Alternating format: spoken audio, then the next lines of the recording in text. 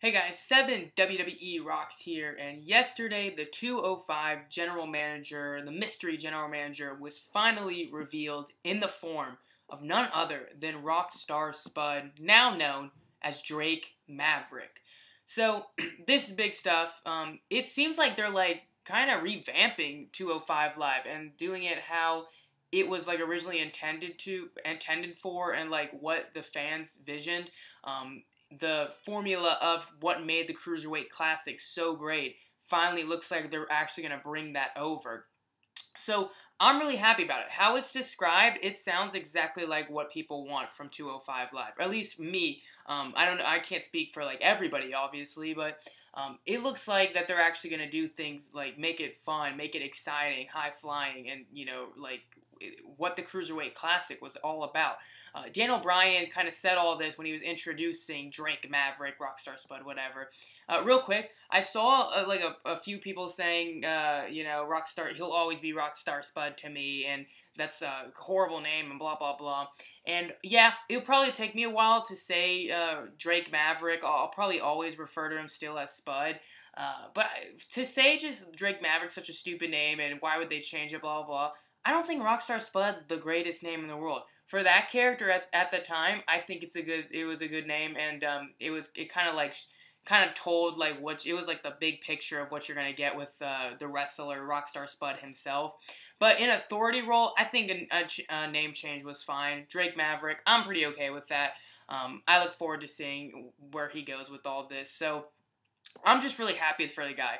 Um, to see him, you, know, for all these years, scratch and claw to make his way to WWE, um, and like you know, a few years ago, you would not think that WWE would be going after a guy of his size. I never want to think size is an issue when signing a wrestler, but it's always you know really nice to see when WWE does it. And they're putting him in such a big role. Uh, general manager, you know, that's that's pretty crazy that he was a former TNA wrestler and they have so much faith in him that they're gonna let him be like the quote unquote face or the figurehead of uh, one of their big brands. Obviously, not their biggest brand, probably the smallest brand that they invest or care about. Um, but it, it's really cool that he's actually going to be general manager, and I'm actually really, really looking forward to it.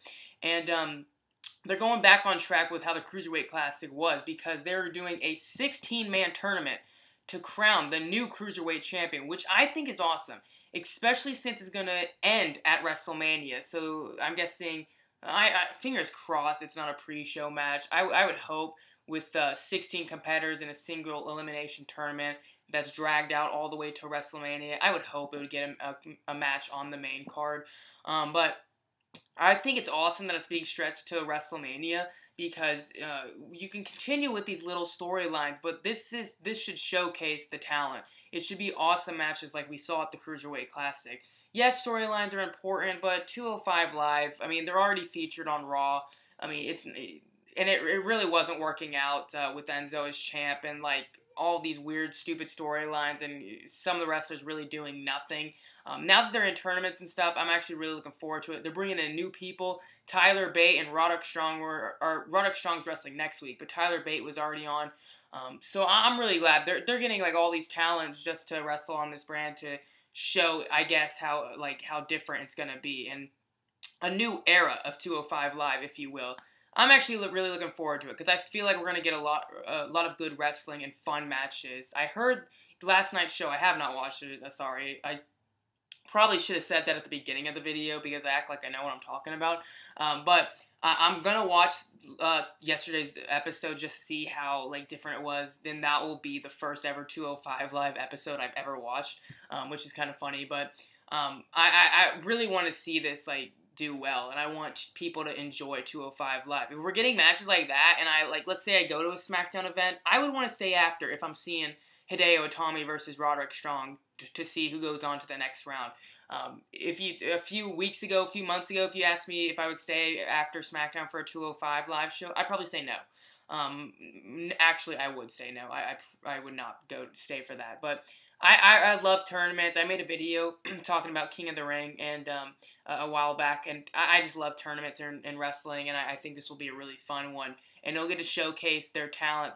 They don't they don't get to showcase a lot. Yeah, on Raw, but usually it's in like multi man tag matches. So everybody in the tournament will get to showcase something in their match, even if they lose. So I'm excited for this. Drake Drake Maverick, I'm looking forward to Rockstar Spud, whatever you want to call him. Um, I'm happy about him being a face. I saw some people were like, "That sucks. He's not a heel."